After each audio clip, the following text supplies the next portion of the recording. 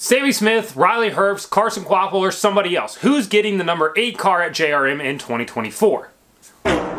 Obviously, we know Josh Berry is graduating to the NASCAR Cup Series next season with Stewart-Haas Racing taking over that number 4 car from Kevin Harvick.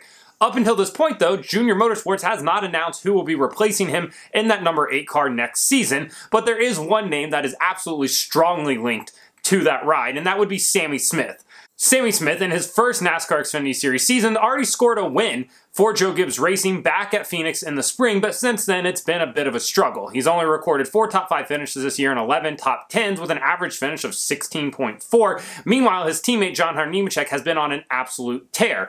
But it is his first season in the Xfinity Series, first season with Joe Gibbs Racing. There's some growing pains that go along with it, so you obviously kind of expect a rookie to maybe not have the most bang bang year. Not everybody's getting the same sort of equipment that Ty Gibbs got in the Xfinity Series, right? So for Sammy Smith, a win in your first season is pretty remarkable and a really good accomplishment. Did Myatt Snider do that with RCR? Sure, but we're not talking about that right now. We're talking about Sammy Smith.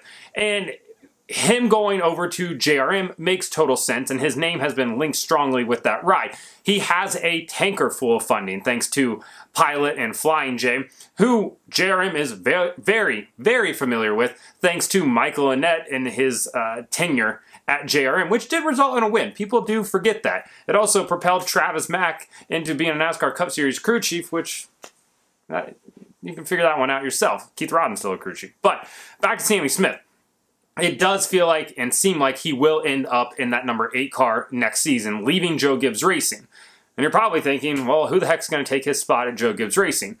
The next name on our list is Riley Herbst. And while his name hasn't been too strongly link linked with JRM, obviously it has been because he has an abundance of funding thanks to his family's B2B deal with Monster Energy and their string of gas station convenience stores all across the Southwest. Riley Herbst with that amount of money is interested every team is interested in Riley Herbst, and JRM is no different. That's how their business model works, right? Everybody brings a sponsor along. They don't have to go out and find too many partners outside of like Hellmann's and Unilever every now and then, and everybody's happy, right? So that's why Riley Herbst's name is linked to JRM in basically every open seat. But it does seem like he is going to rekindle his relationship with Joe Gibbs Racing and possibly head back over there in 2024, leaving Stewart-Haas Racing, where he's been pretty upset this season, at least in the second half. And um, going to Joe Gibbs Racing definitely gives him the opportunity to finally maybe get that first win. Riley Herbst has made 136 starts in the NASCAR Xfinity Series and has yet to score a victory. Not ideal. But he does have more top fives and more top tens this season than Sammy Smith does, and I think Sammy Smith is viewed as a much higher prospect than Riley Herbst. So shout out to Riley for outperforming his equipment, at least this season. Granted, his teammate does have a number of wins, but we got to look at things uh, just in the Riley scope. So, Riley Herbst, linked to JRM, likely not heading there, more likely headed to Joe Gibbs Racing.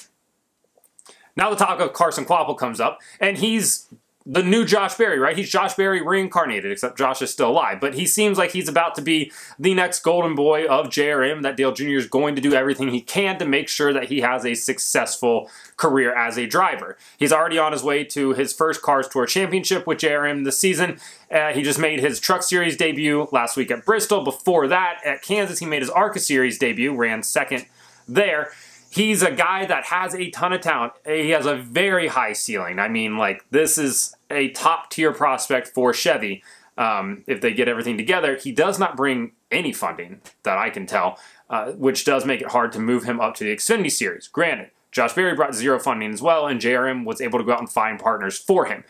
Carson Kvapil and the JRM partners seem to get along very well. The JRM partners seem very happy with him. But I think moving straight from the Cars Tour into a full Xfinity Series season is a big jump. We saw Josh Berry do a limited schedule before making that jump to a full-time uh, uh, season as a full-time participant. And I think we're going to see that with Carson Kvapil as well. We're not going to see him full-time next year. Might not even see him full-time in 2025 either, but you're going to see him start to make more and more consistent starts, whether that's in ARCA, Truck, Xfinity, or the combination of all three. He's a guy that's going to quickly move up this ladder and uh, out of the Cars Tour, which is unfortunate for the Cars Tour because they have a ton of great personalities down there, but it is a great um, proving grounds, a great place to learn racecraft and everything like that. And I think Carson Kvapil is just going to be the next guy to to really showcase what that series is capable of. So Those are the three names that make the most sense. Other names out there that we've heard, and I say what we heard is what people have said on the internet because they just have wishful thinking, is Matt DiBenedetto. I can tell you right now, Matt DiBenedetto is not going to JRM in 2024, so go ahead and toss that name out the window. Another name is Jeffrey Earnhardt, and a lot of people want him to drive for his uncle, Dale Jr., I just don't think that's going to happen, at least not on a full-time basis. Jeffrey does have a great relationship with his sponsor, Forever Lawn, and maybe they could work out some sort of partial schedule at JRM next year uh, on a, like, maybe 10-race basis or something like that. Take his funding that he had for basically the majority of this season, condense it down, and try to get him into a car that's capable of winning races, and maybe you see that happen, but as, as for a full-time participant, not going to happen. So who do you think gets the ride? And uh, if it's not one of those three names I listed, let me know in the comments because I would love to hear it. Either way, like and subscribe to the channel. Follow me on TikTok at BrakeHard, Instagram, and Twitter at BrakeHardBlog.